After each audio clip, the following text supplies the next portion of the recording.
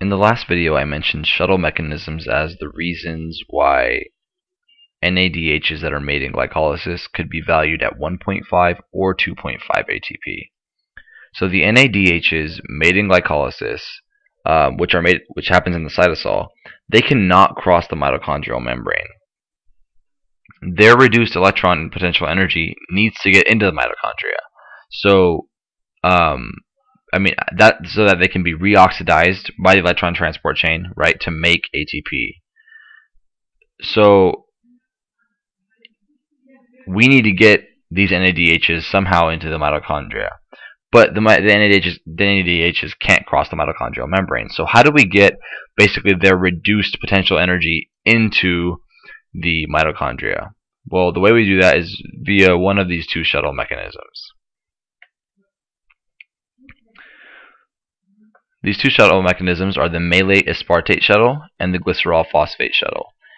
In the malate aspartate shuttle, essentially what's going on is that if we have in the cytosol, um, if we have aspartate in the cytosol, L-aspartate, we can change that into oxaloacetate. This is an amino acid. We can change that into oxaloacetate using a via a transamination reaction, taking alpha ketoglutarate and turning it into glutamate, ripping the amino group off of L-aspartate and attaching it to the alpha-ketoglutarate to make glutamate, and then resulting in oxaloacetate. That's not really all too important to this. What is important, though, is that once we have oxaloacetate in the cytosol, that will be turned into malate. And when we do that, we're going to take an NADH and reoxidize it to NAD+. The reason we do that is because now malate is carrying those electrons. So malate can take those electrons into malate can actually cross the mitochondrial membrane. So it's going to carry those electrons into the mitochondrial into the mitochondria. So it carries the electrons from the NADH inside into the mitochondria. So now once the malate is inside there, it can actually be um, it can be oxidized into oxaloacetate. And when it's oxidized, something else has to be reduced. Now the thing that's actually reduced here is NAD plus and NADH. To, to NAD plus to NADH. So notice what happened here. We we took the instead of you know the NADH is directly crossing the membrane because it can't. We need to move its electrons to something that can cross the membrane. Once it crosses the membrane, we reoxidize that, and then we reduce the NAD plus. It's already actually in the mitochondria, so we make that NADH. So now oxaloacetate can be converted back to L-aspartate via just sort of the reverse reaction here, and L-aspartate can also cross the mitochondrial membrane back out here, and then it can this process can happen again.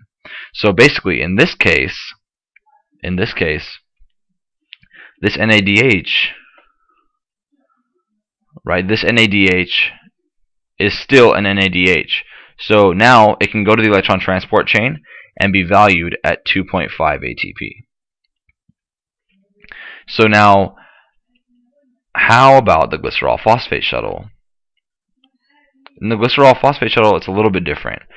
We have we start off with dihydroxyacetone phosphate, which, if you recall, uh, is from glycolysis, and we're going to take that and um, we're going to reduce it to glycerol 3-phosphate, and in doing that, we're oxidizing NADH to NAD+. So now glycerol 3-phosphate, right, carries those electrons carries those electrons in. Okay. Now glycerol because glycerol 3-phosphate can cross the membrane. Once glycerol 3-phosphate is in here, now it can be oxidized into dihydroxyacetone phosphate and then we can, we can reduce something. Now, odd, it's odd though that instead of taking an NAD plus and turning it into an NADH, we for whatever reason take an FAD and turn it into an FADH2. So what happened here? Um, basically, this NADH, it's now valued as an FADH2. So this NADH, because this FADH2 can now be is worth 1.5 ATP. This NADH, its reduced electron energy was transported in here, and and the the coenzyme used was an FAD, and it made it an FADH2.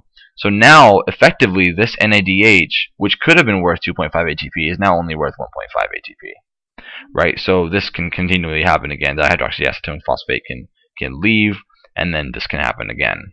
So this is the reason why the NADHs in glycolysis can be worth 1.5 or 2.5 ATP, depending on which shuttle they actually go through. So clearly the malate aspartate shuttle is the more efficient one, right? This is more efficient. More energy efficient. Right? This is actually found um, in mammalian ah, mammalian kidneys, the mammalian kidney, the liver, and the heart. So clearly, it's the, it's the most it's the more efficient one. Okay, so but yeah, that's the basis for for the reasoning behind why the NADHs from the cytosol can be worth 1.5 or 2.5 ATP. It all just depends on which shuttle there is used to transport their stored energy into the mitochondria. Hope that was helpful. Thanks for watching.